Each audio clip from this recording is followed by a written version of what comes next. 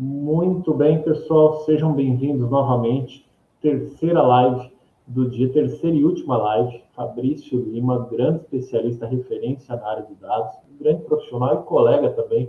Eu brinco que para encontrar o Fabrício tem que ser fora, né? tem que ser lá em Seattle, tem que ser no Summit da Microsoft, porque aqui é muito difícil, é muito concorrido, e até mesmo porque o Brasil também é enorme, né? Esse é um evento que está trazendo aí colegas né, de outras regiões, de outros estados e até de outros países também. Né? Pessoal, só rapidamente apresentando, então, para quem está chegando agora, né, essa é a quinta edição do Descomplicando Azure. A gente brinca que é tudo ao vivo, né? Então a gente faz em tempo real, não tem edição, não tem produção. Então é legal quando às vezes até dá um bug, um problema, né? Ou a gente coloca uma dúvida e, a gente vai interagindo à medida do possível. Simula um pouquinho do dia a dia, né? Dos profissionais e acaba criando uma energia bacana. Tá? Ah, seguindo com o nosso roteiro, então, a nossa apresentação agora do Fabrício, ele vai falar sobre banco de dados, um grande especialista, como eu falei, né, vai seguir, vocês fiquem à vontade, né, realmente a intenção desse evento de ser ao vivo é para que os participantes interajam, perguntem, né, e, e tenham um aproveitamento bacana, tá? Ah, lembrando que na sexta-feira a gente vai ter sorteio, então já temos aí a parceiro, grande apoiador Acúmulos, né, mandou uns kits para gente, né, ah, Estamos verificando, ainda tem algumas surpresas acontecendo, né? Se outros parceiros vão mandar alguma coisa também, mas a gente vai divulgando à medida do possível.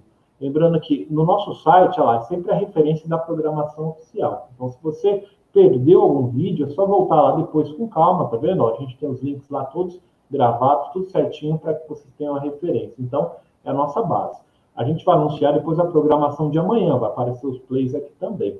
Tá? Se vocês não se inscreverem, então ainda existe a oportunidade, né? Desce um pouquinho a barra de rolagem, vai lá, faça o seu cadastro para que você concorra aos brindes do sorteio, para que você receba os e-mails diários aí com atualização da programação. Então, o nosso formato foi a forma que a gente encontrou de anunciar e de manter todo mundo atualizado sobre esse grande evento. Tá ok? Bom, agora já vou chavear aqui, falei do sorteio, falei da brincadeira toda, né? Para deixar a galera. Mas é só sexta-feira. Tem muito conteúdo até lá, a gente tem que estar presente, né? tem que entender um pouquinho da energia. Né? E, claro, nada mais justo aí do que Fabrício Lima para fechar a noite falando muita coisa legal sobre tecnologia moderna. Fabrício, seja bem-vindo. Fala pessoal, tudo certo? Tudo certo aí, Rubens? Tudo bem, o áudio está muito legal, já dando boas-vindas e fazendo teste aqui também de de áudio. Posso já compartilhar a sua tela? Pode sim. Beleza, então já vamos colocar aqui para que a gente não perda tempo, né? Não perca tempo, você consiga render aí no assunto. Então, pessoal, vou ficar acompanhando no backstage aqui, né? Como de tradição. Fiquem à vontade de interagir com o Fabrício, ok? Fabrício, seja bem-vindo novamente e é com você. Show de bola. Salve, salve, galera. Muito boa noite. Estou aqui diretamente de Vitória, no Espírito Santo, para estar tá aí contribuindo um pouco com esse grande evento que vai durar aí por duas semanas. Não perco aí até o final. E eu vou falar um pouco aqui sobre o Management Instances, que é uma das formas de você usar o SQL Server aí no Azure, beleza? Meu nome é Fabrício Lima, sou CEO da PowerTune, a gente trabalha com consultoria em banco de dados, SQL Server, Power BI e bases aí no Azure, obviamente. E não tenho é, PowerPoint na minha palestra, vocês já estão vendo aí um Management Studio aberto, então a gente só vai ficar aqui, vai dar um pulinho para o portal da Azure e essa vai ser aí a nossa palestra, sem PowerPoint, beleza? Então meus dados estão aqui, meus canais de comunicação para vocês me acharem e eu vou compartilhar no final esse link, um link para vocês terem todos esses scripts aqui que a gente vai falar, tá ok? Dúvidas, vão mandando ali no chat. Que eu tô no outro monitor aqui, eu de vez em quando olho para o lado aqui e a gente eu consigo ver as perguntas. Show? Então vamos lá, galera. Então nós vamos falar do negócio chamado Managed Instance, um nome meio maluco, meio tal, meio chique. O que, que é isso, Fabrício? Parece caro só pelo nome tal. Para quem nunca ouviu falar e está aí na palestra pela primeira vez, nunca ouviu falar sobre isso, nunca viu um post meu, que, que é o Management Instance? Rapidinho, galera. Só para a gente pegar todos os públicos aqui.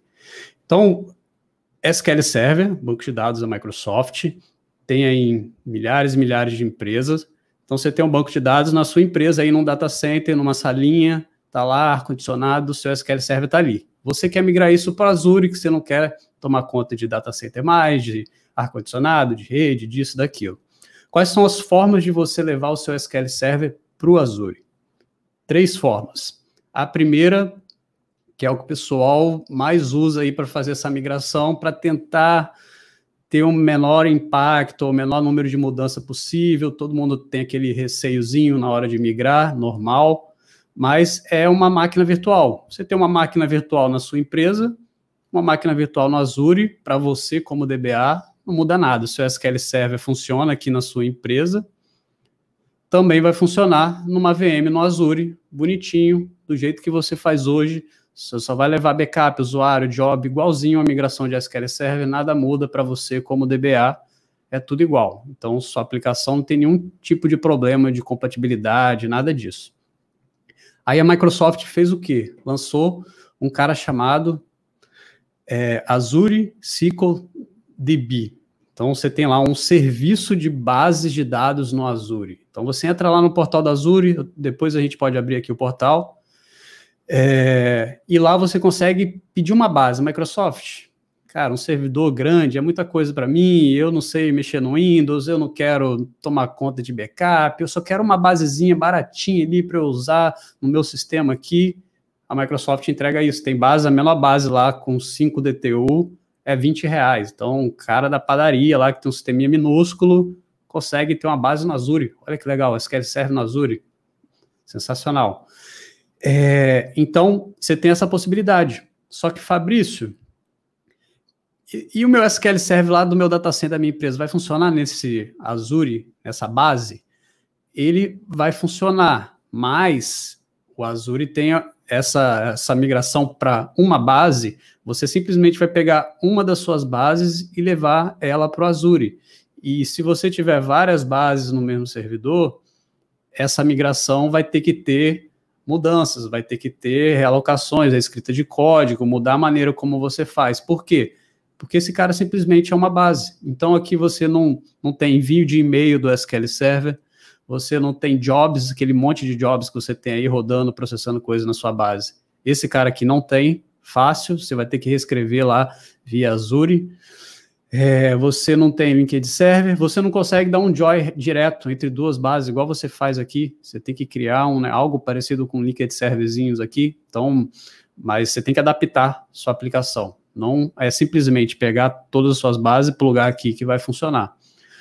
Por isso, muitas empresas que têm aí os códigos de 30 anos escritos, o cara fala: Nossa, vou migrar para base como serviço, vai dar muito trabalho, vou ter que reescrever meu sistema, vou ter que reescrever minha aplicação. Não, dá muito trabalho, deixa eu ir para a VM.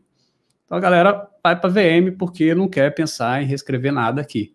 Os novos sistemas, a galera deve aí, que está vendo tudo do, do mais novo, esses já estão caindo direto aqui como serviço. Agora, os sistemas legados, para migrar para Azure, tem muita aí. É, o pessoal dá um bloqueio para migrar para essa base, porque tem que fazer uns reajustes, né? Simplesmente pegar a sua instância e jogar lá que vai funcionar. Aí a galera faz o quê? Migra para VM. Aí a Microsoft falou: Meu, eu quero que esses caras usem serviço, eu não quero que o cara se preocupe com Windows, com backup, eu quero dar todos os benefícios aí que esse cara dá. Não se preocupar com, Azure, com o backup, não se preocupar com Windows, ransomware, criptografar seus dados lá, seus arquivos nas pastas. É, não quero que o meu cliente precise ficar migrando SQL Server. Aqui no ciclo de BI, você nunca mais precisa migrar um SQL Server na sua vida. Acabou aqueles projetos de migração de ficar três semanas homologando, gerar uma planilha gigante de passo a passo, perder um final de semana migrando. A Microsoft vai atualizando esse cara automaticamente e você nem percebe. Então, o SQL 2019, 2022, 2025 já vai nascendo ali, eles já vão colocando features novas ali, sem que você tenha que fazer todo um projeto de migração. Então, a Microsoft queria dar esse benefício para o cliente, mas queria evitar que o cliente fizesse todas essas mil alterações aqui que ele tinha que fazer para vir para o SQLDB. Então, para evitar de jogar ele na VM, o que, que ela criou? Um cara chamado Management Instance. Estão vendo que é a terceira forma aí de você migrar para o Azure. Simplesmente aqui, você vai pegar a sua instância, vai fazer um backup, vai restaurar todas as suas bases aqui, vai pegar seus logins, vai levar para cá, vai pegar seus jobs, vai levar para cá. Por quê? Porque esse cara aqui tem e-mail, tem e-mail, tem job, tem login, tem liquid server. Acabou com todas essas limitações que esse cara aqui não tinha e sua aplicação usava. Então você não precisa reescrever mais código que faz join entre duas bases, código que manda um e-mail direto para alguma coisa, os 200 jobs que você tinha lá no seu SQL Server. Tudo vai funcionar aqui. E você vai ter esse benefício de não ter que mudar a sua aplicação e também no Management Instance ele é um serviço, igual o SQLDB. Você não tem um Windows aqui, então você não precisa se preocupar com backup, você não precisa migrar SQL Server mais, a mesma coisa que esse cara que faz. Conseguiram pegar aí um basiquinho da diferença desses três caras? Então, VM é o fácil, tudo igual, você já trabalha com VM há mil anos aí na sua empresa. Ah, Fabrício, Azure, quero uma base como serviço, é o Azure SQL Database. É uma basezinha só, você vai lá, me dá uma base Microsoft, me dá uma base Microsoft, me dá uma base. A comunicação entre elas não é igual, igual você tem na sua instância aí hoje. Então não manda e-mail, tem um monte de limitação. E esse cara é aí a junção dos dois mundos, beleza? Te entrega um serviço e sem as limitações que o outro tinha, sem as diferenças que o outro tinha com relação ao seu ambiente na sua empresa hoje. Show? Legal, Fabrício. No desenho é interessante, mas e na prática? Aqui eu já tenho aqui no meu Management Studio, eu vou dar um zoom, não se preocupe. É, três conexões. Então eu tenho os três tipos de SQL aqui, nessas três conexõezinhas que vocês estão vendo aqui, ó. Então, esse cara aqui do meio é como se fosse a minha VM, o SQL normal, instalado, tem a ISO lá, você dá dois cliques e vai instalando até o final. Esse cara aqui de baixo, ó, SQL MI é o Managed Instance, e esse cara aqui de cima é o Azure base de dados, Azure SQL DB, sozinho. Só a basezinha fui lá e criei tudo isso lá no portal. É, como é que eu crio no portal, Fabrício? Isso tem vídeos lá no meu blog, que ao longo da demo eu deixo os links aqui para vocês. Então, para evitar esse tempozinho de beabá de olhar lá no, no portal, tem um vídeo meu que mostra isso. Você vai lá e assiste depois, a gente ganha tempo aí nos 35 minutos de palestra que a gente tem. Beleza? Então, para otimizar, vou fazer um tane aqui no nosso tempo e vou pular essa parte. Beleza. Reparem, esse daqui ó, é um SQL Server como uma VM, como físico normal, que você tem tudo, tem o agent aí, tem um monte de pastinha, tem todas as suas bases aqui, beleza? Esse é o meu notebook, mas é, poderia ser a VM da sua empresa, um servidor físico. Legal. E aí, qual que seria a nova forma aí que a Microsoft criou anos atrás? Cara, você vai lá e contrata uma base. Quando você contrata uma base no Azure, você se conecta nela via Management Studio, normal. Você vai se conectar nessa base ó, assim.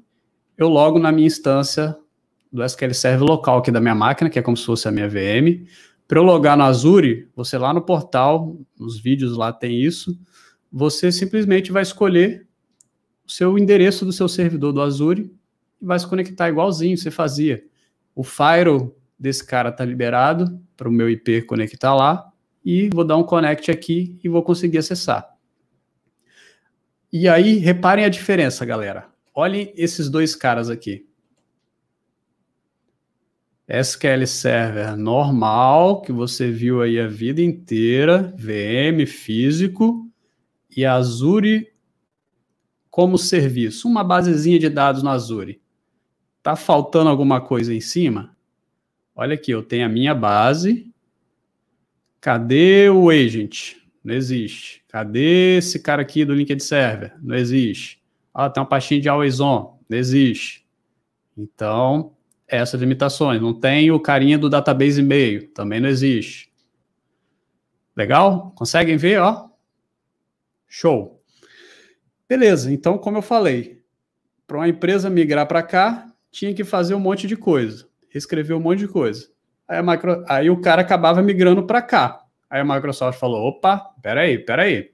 vamos lá, vou te dar uma nova oportunidade, usuário, para você migrar para cá sem ter muito trabalho de mudar tudo aí na sua aplicação. Quero que você migre para cá como serviço, tirar várias preocupações da sua cabeça.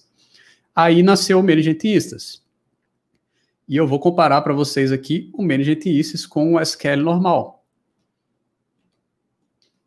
Olhem aqui agora. Esse é o Management Instance conectado via Management Studio. Tá aqui, ó. Esse é o MySQL normal. Databases, tá aqui databases, logins. Olha como que você tem moral de fazer tudo. É uma instância, é sua. Agent funciona.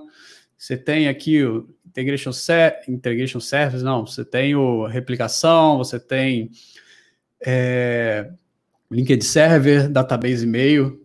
Tá aqui, funciona. Ó, então a gente consegue usar, pegar sua instância e jogar para esse cara, sem muito trabalho. O que, que não funciona aqui, Fabrício? Vou falar uma coisa que não funciona. E foi até um impeditivo para um cliente nosso não migrar para serviço. Você concorda que aqui eu não tenho Windows? Não existe um Windows no Management Instance. Você não precisa se preocupar com o hotfix de segurança do Windows, se um hacker vai invadir seu Windows e criptografar todos os seus arquivos SQL, essa preocupação você está pagando a Microsoft aí para cuidar disso para você.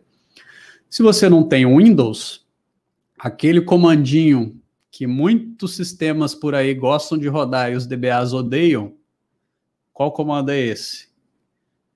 XP CMD Shell tem um bilhão de sistema por aí que os programadores lá no passado, espero que hoje não mais, enfiaram esses comandos para pegar arquivo de uma pasta para outra, integrar arquivo daqui ali, ler uma pasta, criar uma pasta.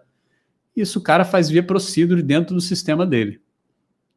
Ou seja, se seu sistema tem XPMD Shell, as, faz acesso à pasta no seu servidor de SQL Server lá, tem uma pastinha lá no C2 pontos para ele brincar.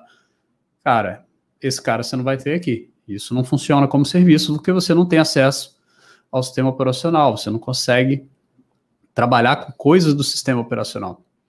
Legal? Microsoft que cuida disso. Você está contratando uma instância de SQL Server, coisa de DBA. Cara quer fazer integração de arquivo para um lado para o outro do banco, você consegue escrever código que vai resolver esse mesmo problema mas um sistema de um cliente, sistema grande, inclusive, tinha isso, um bilhão de coisas dentro do sistema e não conseguia migrar para serviço. Por causa disso, teve que ir para VM. Viram que legal? Então tá ali, ó. É, diferenças aqui do SQL normal, Management Instances e SQL Database, os três. Viram? Então, além, não só no desenhozinho, no rabisco que eu fiz, conseguir mostrar aí no Management Studio, na prática, como é que isso aparece aí para vocês. Talvez vocês nunca tiveram a oportunidade de se conectar nesses caras. Se não tiveram, a gente vai resolver isso hoje também. Beleza? Show! Então vamos lá, vamos brincar dentro do Management Instance.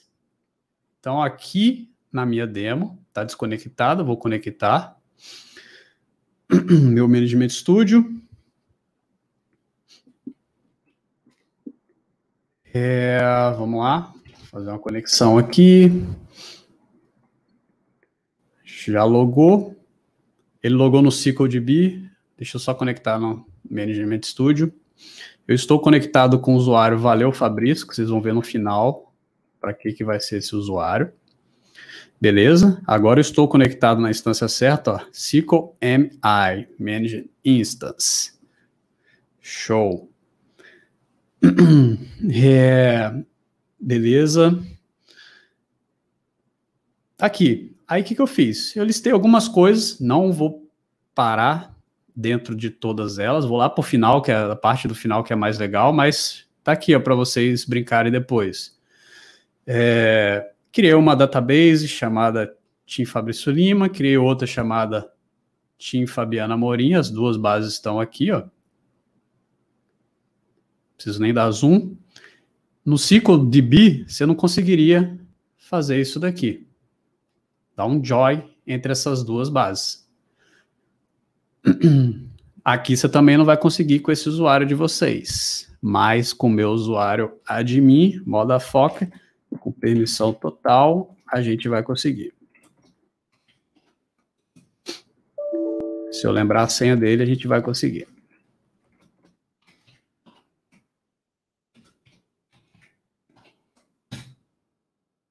Foi. Então agora eu peguei um usuário sysadmin. Aquele usuário ali é um usuário que eu criei para vocês. No final eu vou passar. Ele é só read only, senão sempre vocês iam ter muito acesso aqui no meu ambiente. É, tá aqui, ó. Fiz um join entre duas bases no Management Instance, ó. Management Instance, Management Instance. Isso funciona. No CycleDB não funciona. Então tem aqui um link explicando isso aqui em detalhes. Consigo mandar e-mail no Management Instance? Consigo. Tá aqui também um link para vocês verem como é que configura isso. Consigo criar um profile aqui? Consegue, ó, o profile funciona no Management Instance. Você vem em Tools, Profile, quem vive aí sem um profile?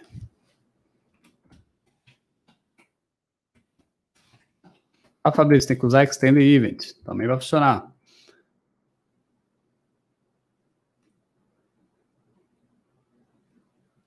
Mas se o profile funciona, que é aquele cara lá abandonado, que todo mundo vai matar, o outro também vai funcionar. Então tá aqui, ó, profile, startando ele. Quero logar o que está rodando aí no Management Instance. Será que funciona? Tá lá, galera. Acabou de pegar aqui Management Instance Profile. Então, Profile funciona. Show? Legal, Fabrício. E Job? Consigo criar Job? Consegue, ó. Esse daqui é o seu job. Você vai dar um new job aqui e vai criar um job normalmente e vai funcionar. Também tem um linkzinho aqui para vocês. Consigo criar link de server? Consegue. Também tem outros link, de, link aqui para vocês. New link de server, tem aqui falando o que, que você tem que fazer, tem que liberar a porta aqui ali. Tá aqui. Então, tem links aqui para vocês verem. Tudo isso funciona. Para ganhar tempo, eu pulei tudo. E vamos falar um pouquinho sobre alta disponibilidade. Para falar de alta disponibilidade, eu vou dar um pulo lá no portal do Management Instance. É, deixa eu ver se tem alguma pergunta aqui até agora. Tem uma pergunta do Diego Clemente. Plano de manutenção também não tem? Boa pergunta. Eu acho que não tem, por causa da, dos acessos lá que ele tem que fazer. Mas backup você não precisa fazer mais. Então você não precisa de plano de manutenção para backup.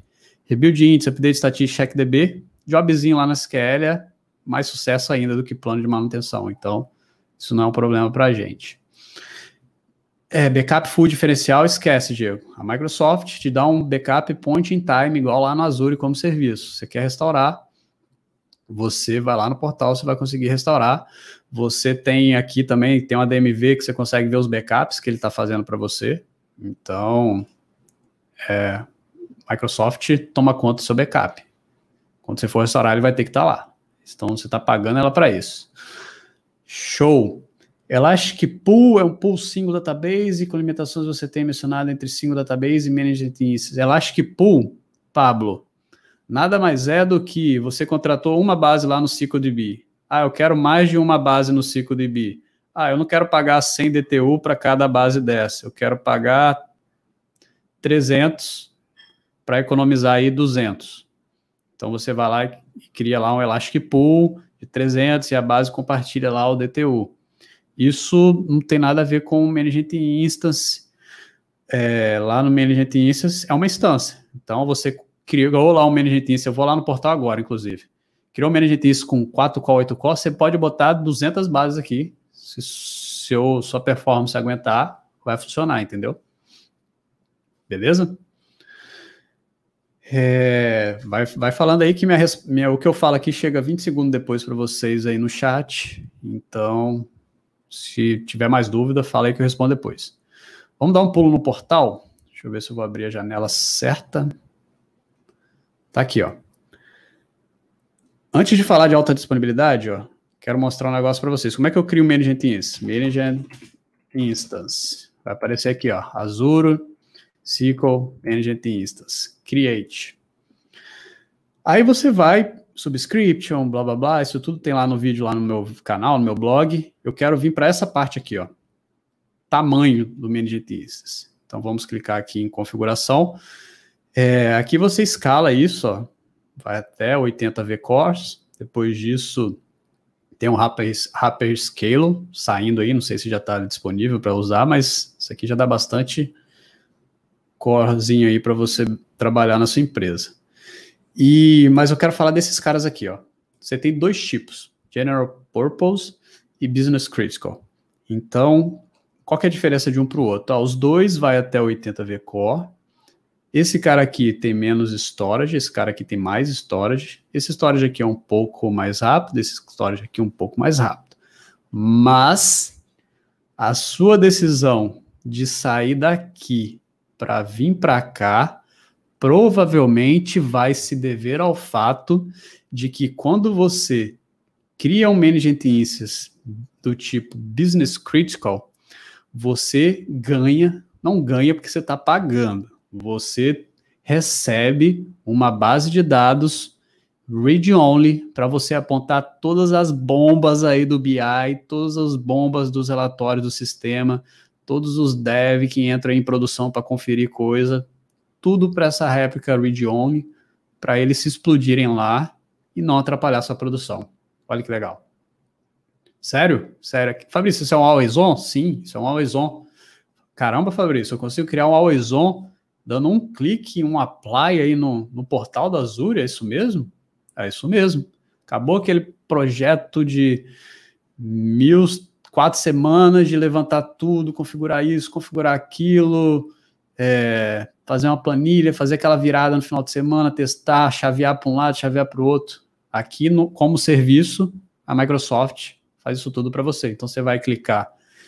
Você tá, criou sua instância aqui como General Purpose, clicou em Business Critical, deu um apply, ele vai ficar processando algumas horas lá por trás. Sua instância continua funcionando normalmente. No final, tem um failover igual o failover de cluster, igual o failover que, de qualquer ambiente, até na, na, sua base no Azure tem failover, todo momento, todo momento não, pelo menos uma vez por mês vai ter um failover para atualização de patch, e você sente só uma piscada aí de mudar de uma instância para outra. Por trás dos panos, a Microsoft roda lá um milhão de comandos PowerShell para criar isso tudo aí para você e te disponibilizar esse cara. Legal? A ideia? Viram? Diferença de um para o outro? Além disso daqui, a sua decisão, ah, eu quero super fast, ah, não, só fast tá bom para mim. Sua decisão vai ser, eu quero read only, eu venho para cá. Não quero, provavelmente você vai ficar aqui, porque o preço aumenta.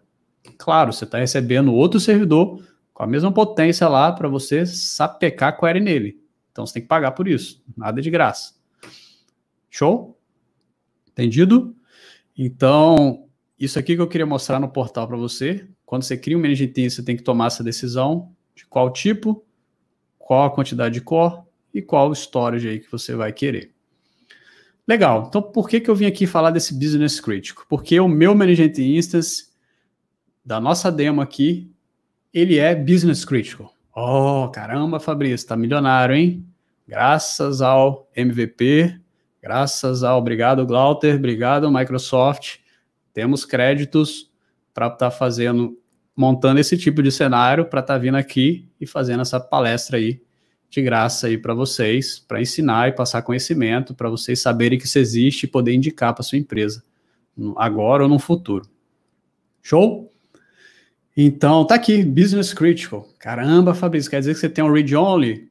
Cadê? Qual que é o caminho do read only? Vamos ensinar como é que você vai acessar o read only daqui a pouquinho. Então, vamos lá. E beleza, então eu tenho aqui uma base de dados chamada não delete dados do coleguinha. E olha que interessante. Vou rodar uma query aqui, ó. Aquelas DMVs que a gente tem aí no nosso SQL Server, aqui tem um monte de DMV também. Então você vai se quando você logar no Management você pode digitar no Google Management vou passar uns links no final, vai ter um monte de DMV para você sair futucando, entender o que, que muda, o que, que tem diferente de um para o outro, bem legal. Quando eu vejo aqui as instâncias dessa minha base de dados, olha que interessante, galera. Eu falei que a Microsoft dá uma instância de read-only, mas reparem aqui, ó, quantas réplicas eu tenho aqui? Tenho quatro. Caramba, quatro? Quatro. Por quê? Imagina se eu tivesse só duas. Uma morreu, queimou o HD. Por baixo dessas, do Instance tem um servidor lá. A Microsoft ia deixar você com uma máquina só, correndo o risco de morrer também, sua aplicação parar. Morreu uma, uma vira primária, outra vira secundária, e a Microsoft já vai correndo para adicionar outra lá para você. Então, você tem quatro réplicas. Está aqui o ID de todas elas. Uma é a primária, todas sincronizadas aqui. Bem legal. Show? Olha que interessante. Legal. Aí aqui eu criei uma tabela chamada Test Management Instance. É... E tem aqui um monte de dados. Acho que eu já inseri. Já tem aqui uma tabela cheia de dados. Deixa eu dar uma limpada nela. Truncate Table. Funciona? Truncate? Funciona. Tá aí, ó. O que eu vou fazer agora? Agora eu vou abrir uma conexão simulando o seu sistema aí, inserindo loop infinito aqui, fazendo insert numa tabela. Boa. Agora eu vou simular a query da galera do BI. Sabe como é que é a query da galera do BI, né? É só scan, pegar a tabela inteira, carregar lá para o Power BI, para o Integration Service. BI não manda query devagar, não. E eu vou abrir mais uma, simulando os devs. Os devs têm uma participação muito especial nos nossos bancos de dados. Tá aqui, aquelas queries pesadas lá do Ent Framework, que vem com conversão de N varchar, que não usa índice, que faz scan. Tá aqui também, simulando elas. E a Ruiz Active. A Ruiz Active funciona? Funciona. Temos aqui, ó, no nosso Meridian duas. Eu tenho 10 minutos só de palestra. Vamos lá. Duas queries fazendo select e uma fazendo insert. Caramba, como é que tá isso? Pelo portal você consegue ver performance do seu Management mas aqui a gente vai no código por enquanto. Olha, tem uma DMV que me mostra que eu estou torrando aí CPU. Estou usando lá um percentual de CPU, que era zero, passou para 49%. Legal? Estou consumindo do meu servidor, rodando aqui todos esses loops. Beleza. Aí, Fabrício, você falou que você tem um cara aí chamado Business Critical que você consegue acessar uma réplica secundária. Falei. Como que eu me conecto na réplica secundária? No seu Management Studio, você vai ter que colocar esse cara aqui como um parâmetro lá na sua conexão. Então tá aqui, Applicate Intent Read Only. É, a gente vai aqui, vou abrir um outro Management Studio no Management Instance, você vem aqui em Options, ó, você está aqui no Login, vem em Options, parâmetros adicionais, já está até aqui, ó, Application Intent igual a Read Only. Vou dar um conectar. Tudo dando certo, estamos conectados na nossa instância Read Only do Management Instance. Legal, Fabrício. Ok, só acredito vendo. Como é que você me prova que você está conectado no read only? Tem aqui, ó, esse selectzinho que vai te falar. Olha, você está numa instância read write tem essas essa query aqui é do Azure. Você tem essas três queries aqui rodando no seu ambiente. Vamos rodar esse mesmo cara lá no read only. É, meu usuário não tem permissão. Deixa eu ver qual usuário que eu loguei. Loguei com o usuário Fabrício. Deixa eu logar na base aqui. Eu acho que dentro da base eu criei.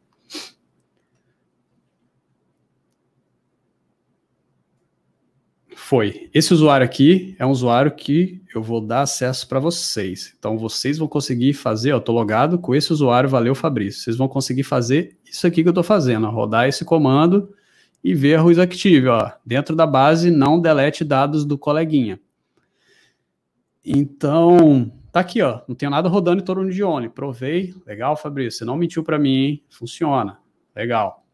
Agora vamos lá, pegar os nossos dados do dev, vou parar aqui na produção, vou levar o read only. Vou pegar parar aqui na produção e levar galera do BI para o Read Only. O BI ama Read Only. É um lugar que ele tem tudo atualizado, sem o DBA ficar no pé dele, que ele está destruindo lá o servidor, não tem que ter carga cada uma hora, tá tudo ali online. A galera do BI ama Read Only. Olha que interessante. Tá aqui rodando ó, meus loops de select na base Read Only. Show. E como é que ficou o consumo depois que você tirou as bombas da produção, Fabrício? Olha que legal. A CPU estava aqui bombando, agora está usando muito menos, muito pouco, está só fazendo insert, insert, delete, insert, delete. As bombas foram migradas para o outro lado. Como é que eu confiro? Vamos tentar rodar essa query lá do outro lado? Olha quem está aqui sapecando a CPU agora. O read only. Então, o servidor read only Read only, está rodando duas queries e está consumindo a CPU aqui, não lá. Olha que legal. Curtiram? Você balanceou aí o seu servidor, você está pagando para isso, é mais caro, mas você está conseguindo tirar as bombas aí da sua produção. Isso com um clique lá no portal da Azure. Então, como é que o Managing Teams pode ajudar a sua empresa? O Managing Teams pode ajudar você a levar seu ambiente do seu da sua, do seu data center, um premise, para o Azure, sem CVM, para você não ter que reescrever nenhum código e não ter que cuidar de Windows, hackers, hotfix e migração de SQL. E tá lá. Você tem essa possibilidade de levar o seu banco sem mudar código e com todos os benefícios do serviço, exceto XPMD Shell e coisas que acessam o sistema operacional, se seu sistema usa. Show? Então, galera, tá aí. Mostrei em 35 minutos, fomos lá, VM, SQLDB, Management Instance. Depois entrei um pouco mais no Management Instance, mostrei o que, que ele tem, o que, que ele tem. E essa feature aqui sensacional, que é o Read Only, com um clique lá no Azure. Se eu tentar fazer um insert na minha réplica, vai funcionar? Deixa eu parar esse cara aqui. Estou aqui na minha réplica agora, ó. vou tentar fazer um insert. Não vai funcionar, porque a base é read only. Beleza?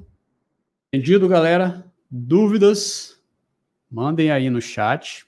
Nada de tão complexo eu expliquei aqui. Se, se não sabiam que isso existia, que é, tinha essa possibilidade de read only, fala aí no chat para eu saber se te ensinei alguma coisa nova hoje. Se você já sabia, revisou aqui agora. É, e eu vou deixar alguns links aqui para vocês. Antes de deixar alguns links, o Rubens vai me dar mais cinco minutos aí, que ele é gente boa, meu amigo, pá. Eu vou mostrar um negócio legal.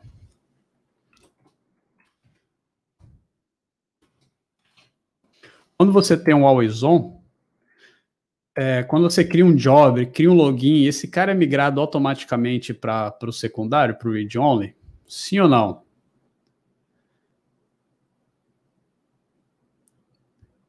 Não leva, certo? Você tem que ir lá levar, criar uma automatização, tal, um trabalho seu fazer isso. Agora vamos fazer um teste aqui, ó. Eu tô no meu primário. Eu vou criar um job aqui, ó. New job. Na verdade, antes de criar o job, deixa eu ir lá no secundário. Esse daqui é o secundário. Vou ver os jobs que existem aqui no secundário. Ó, tem dois jobzinhos aqui que a Microsoft já espelha. Aí eu fui lá na produção. Será que meu job será migrado? Criar um jobzinho aqui. Quanto tempo os dados são replicados? Vai na hora, instantâneo, Rodrigo. Se você botar uma carga gigante, pode ter o mesmo delay aí que um always on tem, mas é, o o espelhamento ali do always on é na hora. Beleza, criei o job aqui na produção, ó. Beleza, Rodrigo? Respondido? Depois eu posso mostrar para você também isso. Ó, criou o job aqui na produção. Será que ele veio parar aqui no secundário? Vamos dar um refresh aqui. Olha que legal. Se até meu job vem parar aqui na hora, imagina meu dado. Ou seja, a Microsoft está replicando seu MSDB. Para montar essa demo aqui, eu tive que dar um grant no, é, Grant numa tabela, Grant de insert, de rodar Ruiz Active. Eu faço isso no secundário? Não, tive que fazer no primário, na master lá, ó, Grant é, view server state. E automaticamente essa permissão foi para lá no secundário. Isso quer dizer o quê? Que por trás do pano, a Microsoft está migrando, está espelhando o seu MSDB, só master. Para isso chegar em VM no futuro, soma um mais um aí e vamos orar. Show? Viram que legal? Espera job. Caramba, espera job, então não tem que ficar migrando job manual. Não, vai sozinho. Massa. Fechei aí 40 minutos cravado. Galera, aí vem o pulo do gato aqui, ó. Eu estou deixando esse link de acesso com esse login e essa senha para você aí da sua casa, de qualquer lugar do mundo, tá liberado todos os IPs do mundo, os hackers vão tentar invadir, mas não tem nada importante ali, é só lab. Você vai se conectar com essa instância, com esse login, com essa senha, vai cair exatamente aqui, ó. Valeu, Fabrício. Esse é o login que eu criei para vocês. Vocês têm acesso somente à base não delete dados do coleguinha. Ó, preciso nem falar. Eu já deixei criada uma tabela, teste management isso, vou até zerar ela aqui agora. Eu não tenho permissão com esse usuário de vocês para zerar a tabela. Mas eu acho que eu dei permissão de delete. Não sei se eu dei permissão de delete. Vamos ver. Não. Então você tem permissão de update, enfim. Na verdade, eu estou na master, né? Deixa eu pular para a base que vocês vão ter acesso. Não delete dados do coleguinha. Agora sim eu consigo limpar tudo, eu acho.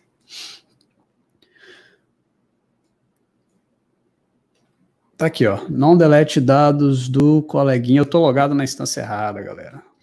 Abri a tela errada. Depois da palestra eu pulei para outro lado ali, vocês nem me avisaram. Mas tá aqui a mesma coisa. Não delete dados do coleguinha.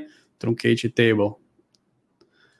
Zerei a tabela, ó. Vocês têm acesso a inserir dados aqui nessa tabela, vão ter acesso, fazer consultas, e vocês vão conseguir lá no secundário se conectar do jeito que eu mostrei. Ó, eu estou logado aqui com o usuário Valeu Fabrício. Você tem acesso a ele. E você consegue rodar DMV, ó, DView Server State para vocês. Então, joga no Google, descobre aí as DMVs que existem no Management Instance. Vai, vem cá, futuca. É a oportunidade que você tem de testar um produto aí que vale 3 mil para começar, com Business Critical 8 mil lá no portal do Azure, que seus créditos de estudante talvez não conseguiriam. Eu vou deixar isso disponível para vocês até o dia 22. Eu ia deixar até sexta, mas tem um evento top aí todo dia à noite. No final de semana vocês brincam, no dia 22 eu mato esse ambiente aí, porque senão vai zerar até meus créditos MVP. Entendido? Legal? Gostaram da ideia? Quem nunca acessou, acessem que, que eu vou pedir para vocês? Cria, insere dado aqui, bota seu nome e se tiver outro nome aqui, não mexe com o dado do coleguinha, não delete dado do coleguinha, deixa o coleguinha treinar lá, não coloque 5 mil loops infinito para travar o servidor, porque eu não vou dar suporte nisso. Então, se travar, vai ficar parado lá, ninguém vai conseguir testar mais por sua culpa, e isso não é legal. E porque eu não tenho como ficar respondendo todo mundo e logando aqui para matar ninguém, beleza? Então, tá aí, divirtam-se quem nunca testou. Também deixei aqui o Azure como serviço, a basezinha, para vocês olharem qual a diferença delas. Está aí, ó, um link, login, senha, igualzinho. Mesma coisa, você vai entrar na sua base, tem uma tabela criada, você consegue fazer aí update, insert, select, delete eu não deixei, na verdade. E é isso aí. Espero que tenham gostado da da dica, da novidade e principalmente isso daqui, ó, poder meter a mão aí no Management Inc, que não é barato, né? Qualquer um. Você vai aí até de palestrante SQL Server e evento, ninguém nunca parou para criar um ambiente desse, porque é caro, é come os créditos todinho que a gente tem aí para estar tá fazendo palestras. Show? Clientes que usam isso, eu tenho um cliente que usa Management Instance nos Estados Unidos, no Brasil, não conheço. Se vocês conhecerem, me falem. E ajudem aí a proliferar esse cara aí pelo Brasil. Perguntas? Se não temos perguntas, Rubens, comi cinco minutos do seu tempo e a gente pode fechar aí a muito palestra. Muito legal. Na verdade, é, é, a dica foi muito bacana. Né? Eu vou acessar, tá, Fabrício? Tá? Então, eu vou. Estava brincando, estava rindo aqui do lado, eu, eu, eu tenho que entrar, fazer um acesso para dizer que eu estava assistindo também, porque foi muito legal. Na verdade, foi bastante esclarecedora. Né? A gente conseguiu aí entender diferenças de arquitetura, de estrutura. Eu acho que essa pegada de, de entender sobre migração, eu acho que é compatível, né? A gente acompanha um pouquinho aí do, do, do, trabalho do Fabrício, né? Como empresa, como MVP, como comunidade, e a gente sabe que é de alto nível, né? Então, assim, queria agradecer, Fabrício, a presença, muito legal aí, tá? Muito bacana. Pessoal já está fazendo comentário no chat ali, mas assim, eu acho que muito bacana mesmo. E claro, o vídeo vai ficar gravado, então para quem quiser assistir depois novamente, né? É, é, é, o Fabrício colocou ali no momento, eu ampliei um pouquinho a tela aqui, os contatos, tudo certo. Vocês fiquem à vontade aí, porque a referência aí é de alto nível, tá bom? É, o Rubens, eu botei aqui no chat agora um link do GitHub que tem exatamente a demo que eu coloquei, o caminho para logar no Management Instance, usuário senta, tudo aqui, ó. Tá lá no ah, GitHub. Tá. O mesmo script que eu mostrei na tela aí, a galera consegue entrar de casa aí, logar lá e acessar. Muito Beleza? Bom. Obrigado bom. aí pela oportunidade e muito legal. Show de bola. Espero que possa voltar aí no futuro em outras edições, em outros projetos nesse sentido, né?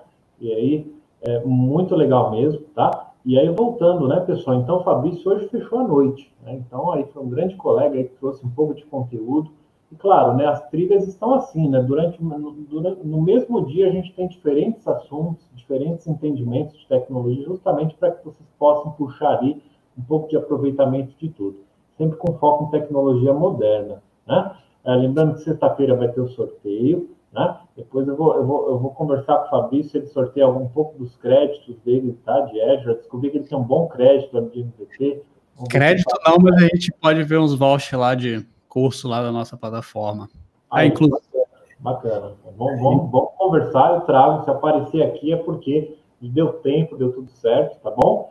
E, e, links adicionais, né, pessoal? Então, os vídeos ficaram disponíveis lá no YouTube, tá ok? É, sinalizando um pouquinho da estratégia. Foi solicitado pelo pessoal, estava pedindo, então tem pouca gente, mas entrem lá para abrir discussão sobre Azure, abrir discussão sobre tecnologia, a gente sabe como é que funciona, né? Então, vê um link legal, tem uma dúvida de projeto, tá? Uh, alguns links adicionais lá do Azure Academy, o pessoal pergunta bastante também, então a gente acaba trazendo, tá? Para mostrar, é um dos apoiadores do projeto, conheçam lá as trilhas. É, não só o Azure Academy, tenho aí o maior prazer em anunciar aí, o Fabrício tem a plataforma de cursos online, super referenciada, conheçam, acessem, tá bom? Depois é, se os vouchers não chegarem aqui, Fabrício, a gente, a gente comenta lá na, na descrição do vídeo, tá? Para ficar lá uma referência legal. E dicas de migração. Então, um apoiador bacana aí também. Se você precisar de, de um suporte nas suas migrações, consulte. Uh, amanhã, pessoal, olha lá, muda um pouquinho a agenda. A gente vai ter quatro palestras, não só em português, aí começa as variações. Então, assim, ontem e hoje foi aquecimento. A gente manteve tudo em português. Mas o que é legal é que é, é, essas lives, além de serem gravadas, elas estão ali com as legendas. Então dá para traduzir, dá para ativar, dá para acompanhar numa boa. E dá para ver imagem também. Né? A gente brinca um pouquinho. Então, assim, sempre vale, o conteúdo sempre é bastante rico nesse sentido. Tá ok? Então, Fabrício, obrigado mais uma vez pela presença. Não sei se gostaria de mandar um tchau aí, acho que já tudo certo. Show, não, valeu, obrigado. Eu mandei dois links aí para a galera dos dois caras que são cabeça do Management Insights, que é o Borko Novak, Novakovic, e o Giovan, I don't know how to tell this name, são os dois cabeças aí do Management Insights que eu tive a oportunidade via MVP Summit, valeu Microsoft, valeu Glauter, e eu vou estar tá postando uma foto deles aí, para galera aí que tem vários Insights, pelo que eu vi no chat, nem sabia que tinha esse monte de Insights aí pelo Brasil, é, para vocês verem esses caras, como eles são, loguem no, vejam os canais dele. Se você tem Management na sua empresa, você tem que acessar o link desses dois caras. Depois, se tiver nada a fazer, você acessa o meu lá, que tem uns negócios lá também. Bacana. Valeu, senhores. Obrigado. Até mais. Obrigado a todos. Vamos finalizando por aqui e amanhã tem mais. Obrigado, pessoal, e até logo. O Rubens.